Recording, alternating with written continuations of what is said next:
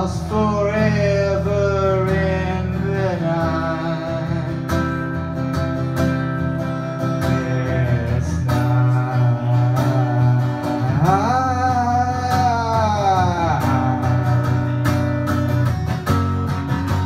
I'm sorry.